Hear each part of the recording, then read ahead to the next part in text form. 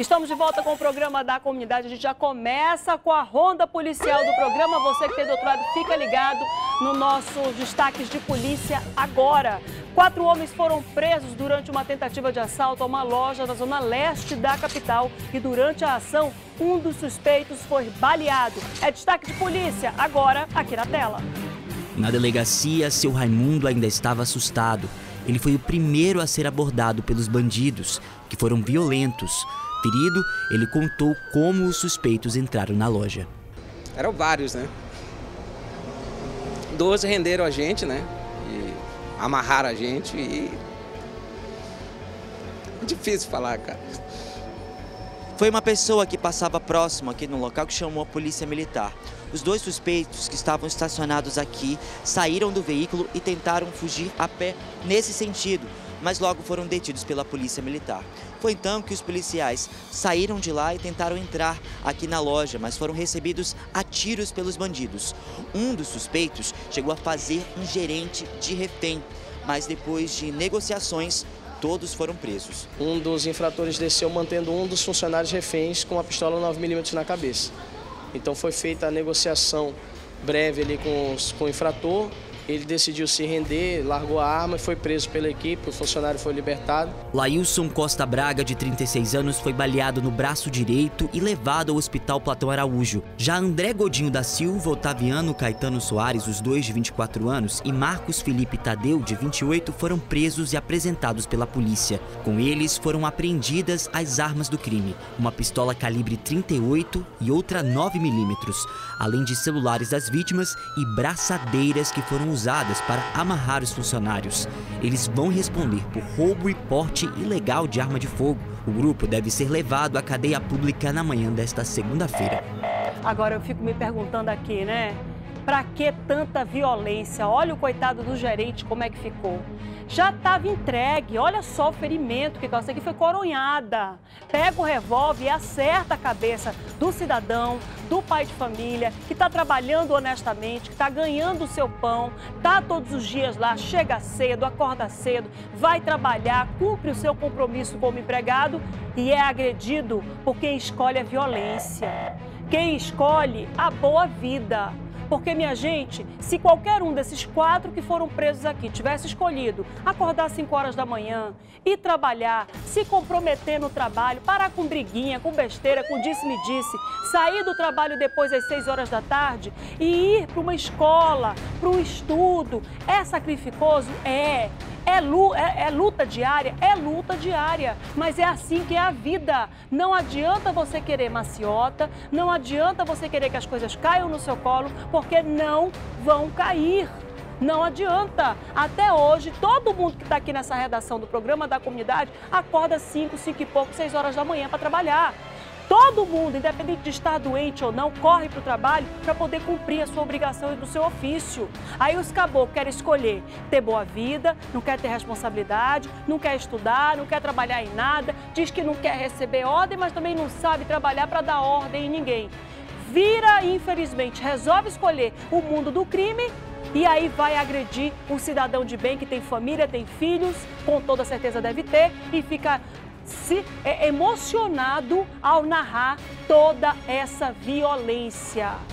Porque sabe que a vida dele escapou por um triz, sabe disso. Mas graças a Deus que todos estão vivos, todos, tanto o cidadão, o homem de bem, quanto esses indivíduos que estão aqui cometendo crime, porque eles precisam pagar o que eles fazem para a sociedade. Eles têm que ser presos e cumprir pena porque eu acho que não tem coisa pior nessa vida do que ter a sua liberdade cerceada, ter a sua liberdade privada. É isso que acontece. É desse jeito que acontece. Vocês que estão aí do outro lado acompanhando o programa da comunidade. Tem jeito de sair dessa vida? Tem. É só escolher uma vida diferente. E olha, eu vou dizer uma coisa para vocês, viu? Essa vida de criminalidade, cometer crime, não começou agora não. Eles têm aí, são tudo marmanjos já velho, como a gente está vendo, mas começaram cedo, infelizmente. E infelizmente, o destaque de polícia que a gente vai trazer para você agora é um destaque de um adolescente de 17 anos, reincidente, que acabou atirando sem querer na namorada de 13 anos. É destaque de polícia aqui na tela do programa da comunidade com Fred Rocha. Fred. Esse caso aconteceu durante a madrugada. Segundo o adolescente envolvido no caso, o tiro foi acidental e teria acontecido quando a namorada dele pediu para ver a arma. E quando ele estava manuseando-a, a arma então disparou. Essa informação foi confirmada por ele em depoimento e pela família da própria vítima, como disse a delegada Elizabeth de Paula, aqui da Delegacia Especializada em Apuração de Atos Infracionais. As informações que nós temos até o presente momento é que o tiro teria sido acidental, até por informações do próprio autor e da mãe da vítima, que se encontra ainda internada no Hospital Danilo Correia. Segundo a mãe, é, e segundo o próprio autor, ele estava manuseando uma espingarda calibre 20 quando acidentalmente deu um tiro na perna da sua companheira de 13 anos. Agora o detalhe é que o adolescente de 17 anos que está apreendido aqui na DEAI e a jovem de 13 anos, eles não eram apenas namorados, eles viviam juntos mesmo com o consentimento das duas famílias. Essa situação, inclusive, teria acontecido por volta de uma hora da manhã. Assim que esse caso aconteceu, a jovem foi encaminhada para o SPA Danilo Corrêa, que fica na Cidade Nova, na Zona Norte. Assim que chegaram até o local, que esse caso foi relatado, o jovem foi apreendido pelos policiais da 12ª SICOM, onde o caso foi registrado. A delegada aqui da DEA chegou a questioná-lo sobre a existência desta arma. Ele disse que a conseguiu com o padrasto dele é, quando chegou a morar em um sítio localizado no Rio Preto da Eva. Inclusive, disse também que iria usar esta arma, esta espingarda calibre 20 para cometer roubos.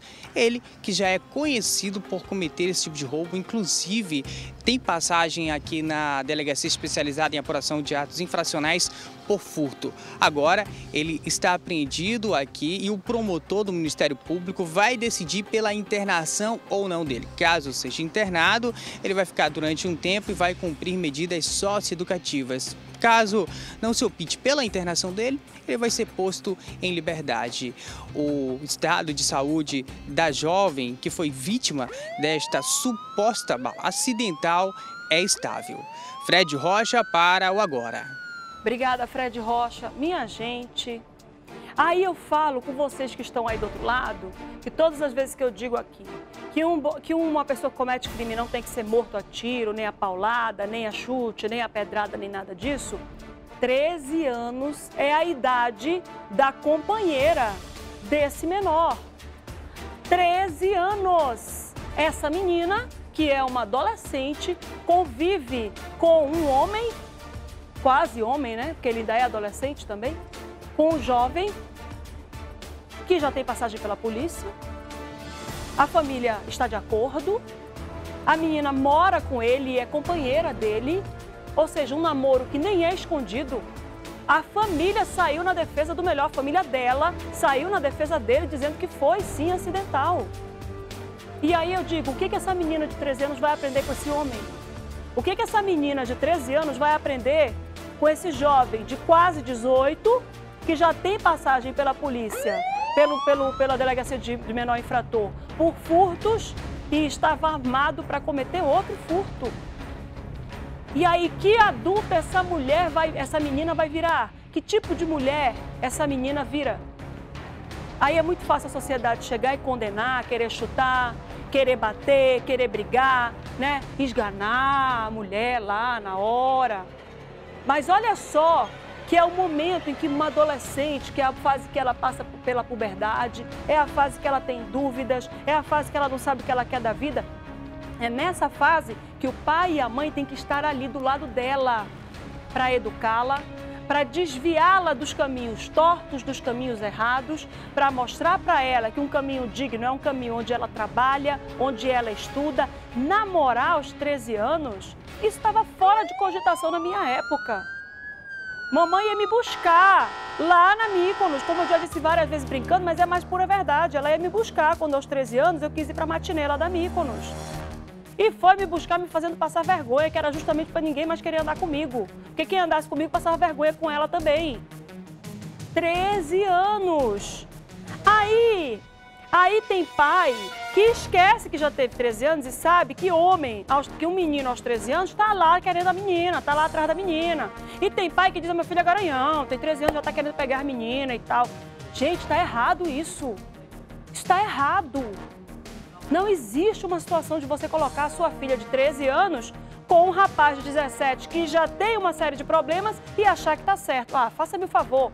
Com essa a gente vai fazer aquele intervalo para propaganda eleitoral gratuita. São 12 horas, 12 e 10 a gente se vê. Não sai daí não, daqui a pouco a gente volta.